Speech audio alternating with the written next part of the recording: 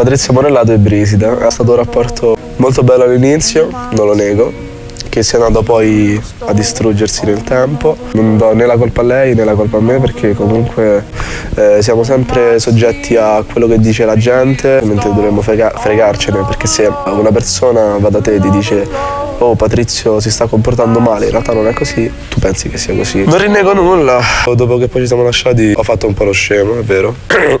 Scusate, ciao. Adesso adesso non ci parliamo. Eh, se magari c'è un po' d'acqua perché